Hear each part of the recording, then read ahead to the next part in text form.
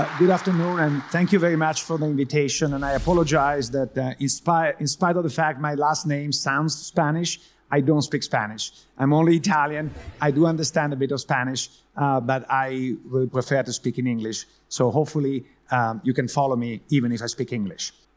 So um, we're all here to uh, confront a important uh, and puzzling fact. Chile is coming out of 30 years of uh, phenomenal uh, economic success. Uh, income per capita has grown a lot. Uh, education has grown a lot. Uh, poverty has dropped dramatically. And even inequality has dropped in spite of the fact that in the rest of the world, uh, we have seen a trend in the opposite direction.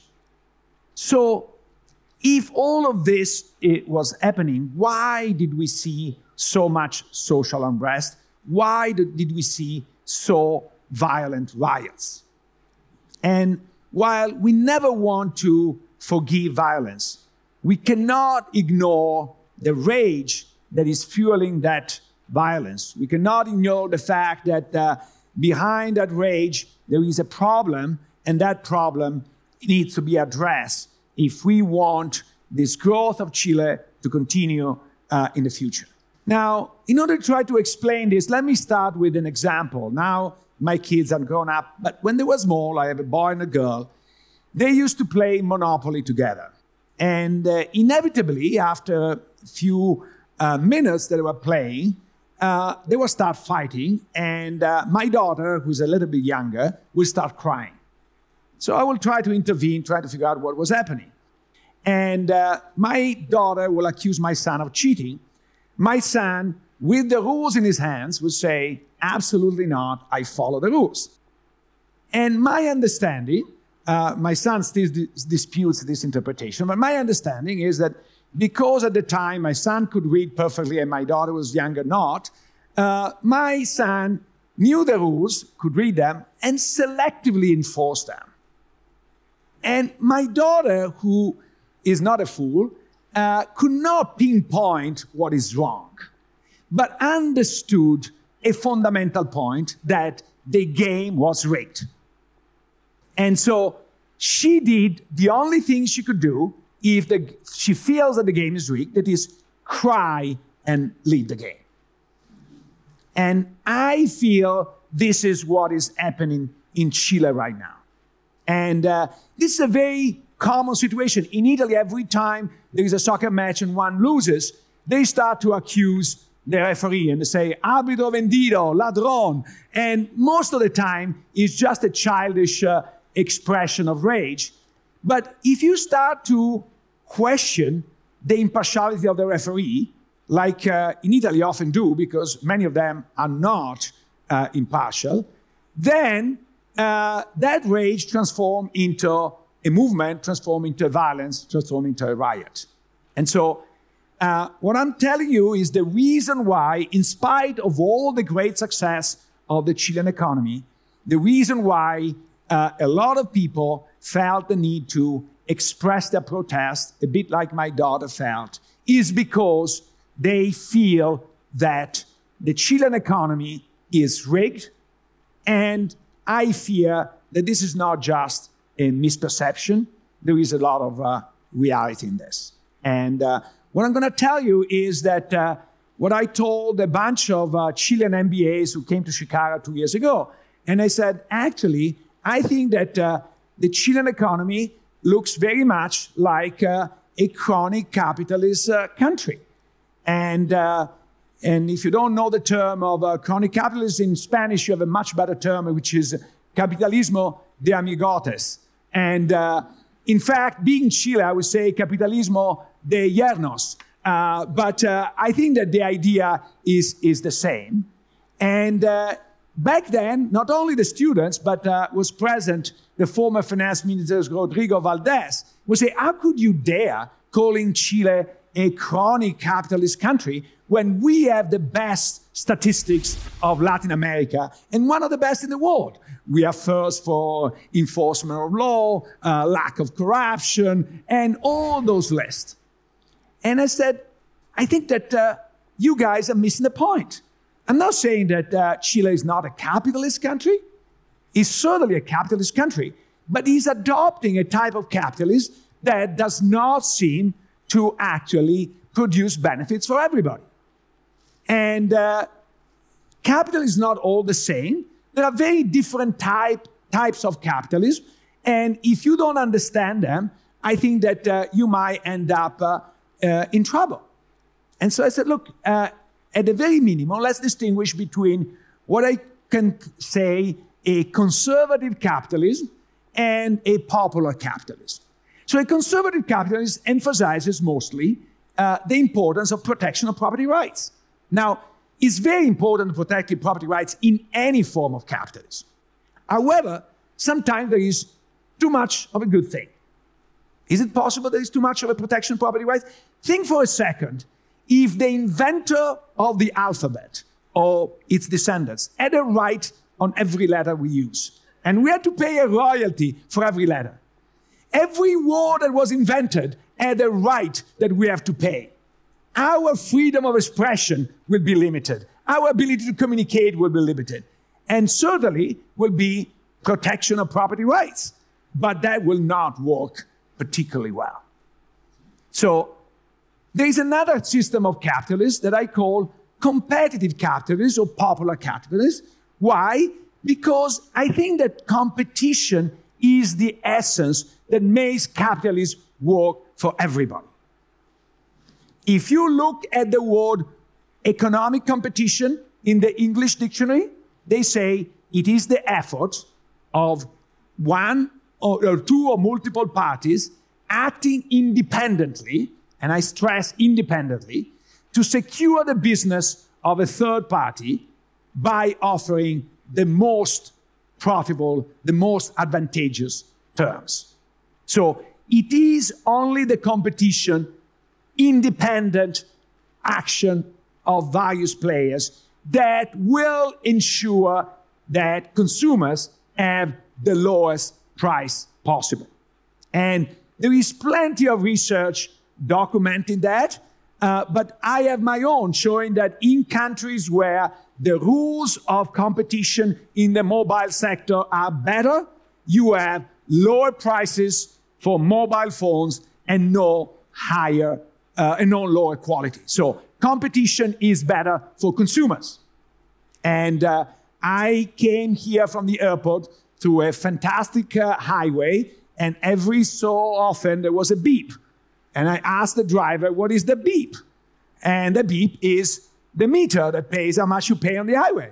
And I said, okay, tell me how much you pay to go to uh, from uh, uh, uh the airport to downtown.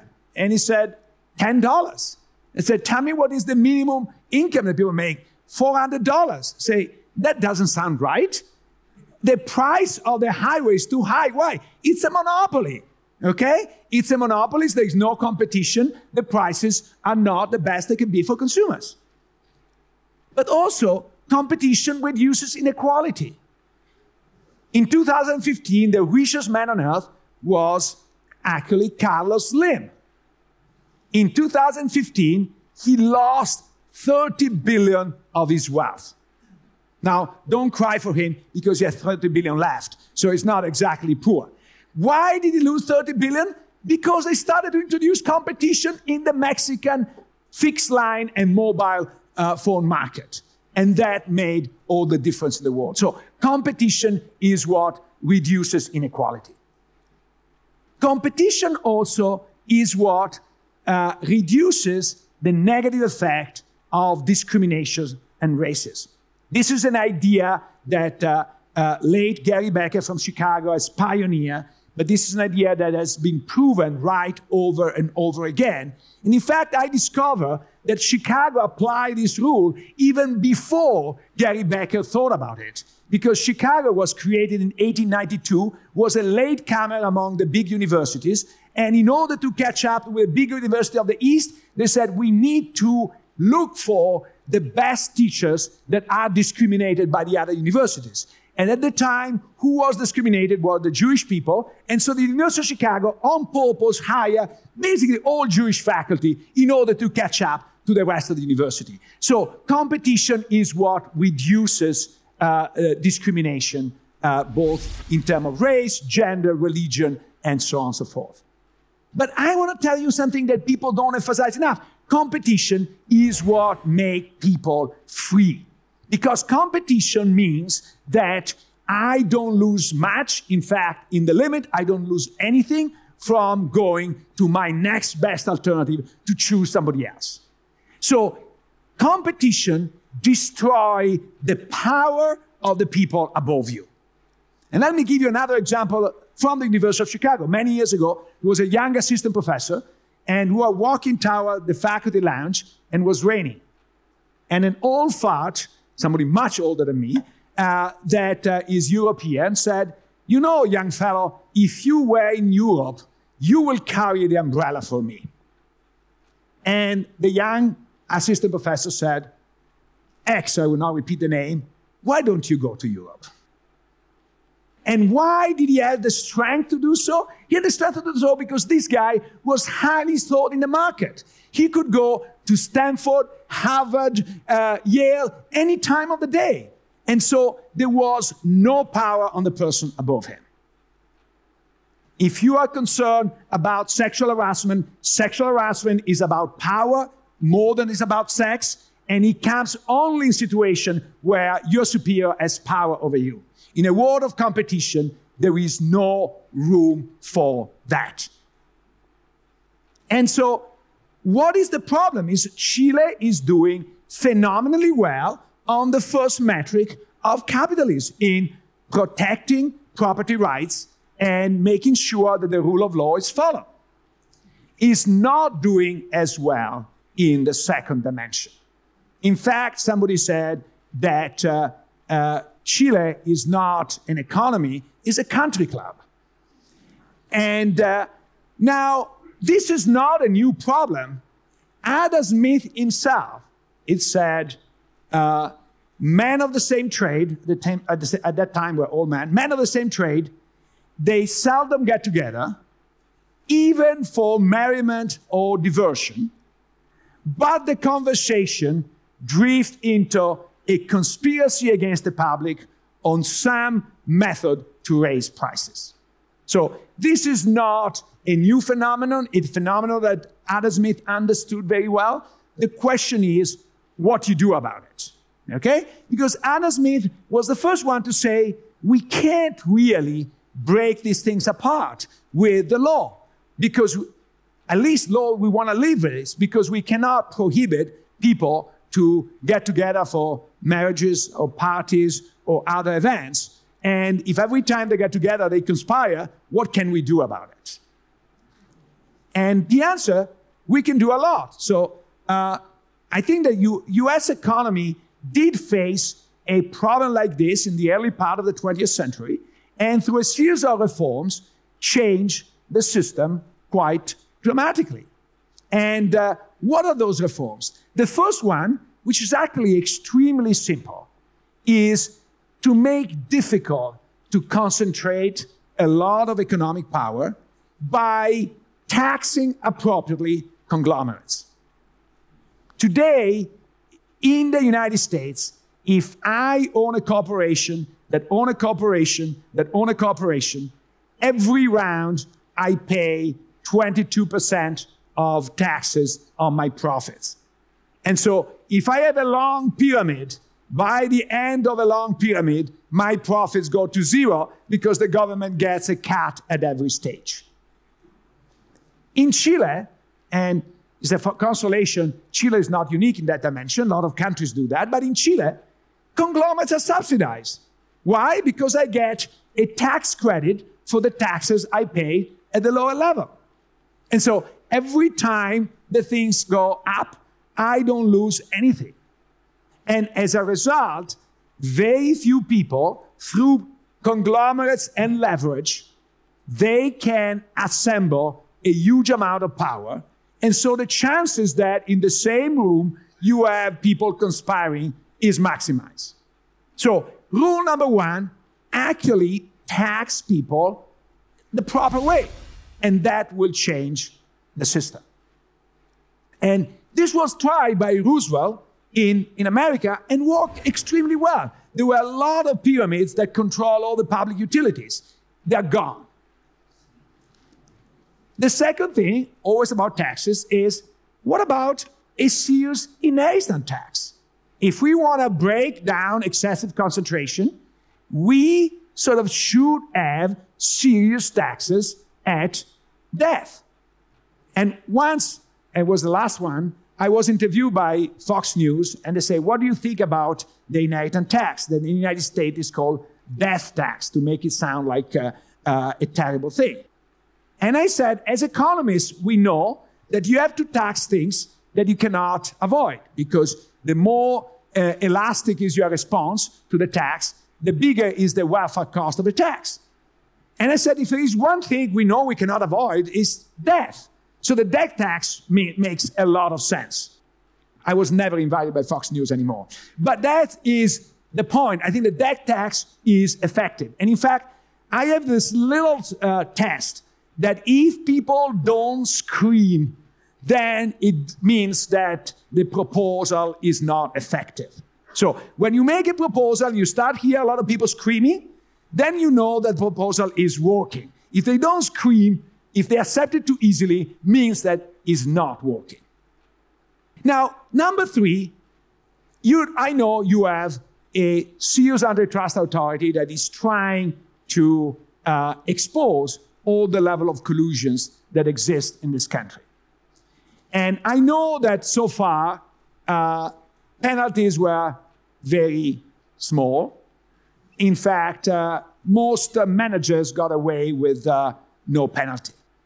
I also know that finally you have introduced some real sanction. Uh, you know, in, in, the United States, I learned recently, in the United States, uh, the notion of white collar criminal was introduced only in the mid 40s.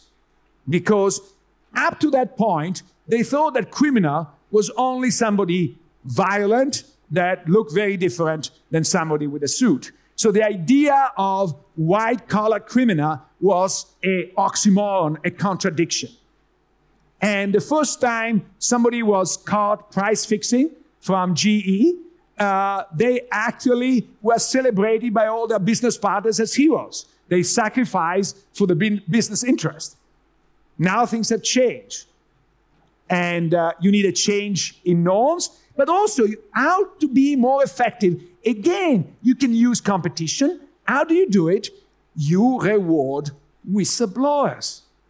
Whistleblowers are people that report information about a collusion case, produce enough evidence that leads to, to uh, uh, uh, conviction. And then it's very easy.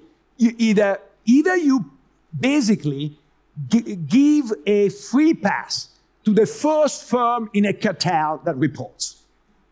And I don't know if you ever heard about this uh, game called Prisoner Dilemma. Is exactly a race of who talks first. And so by giving a free pass to the first company that reports information sufficient to convict all the other ones is a rush to the door of the prosecutor. And then if that's not enough, because in, in a place where all the firms are uh, related by blood or marriage, maybe that doesn't work. Collusion is stronger than competition. Then you make sure that you pay an employee that reports. If I am an employee and I report a case of collusion, I get a fraction of the money that the government gets as a reward.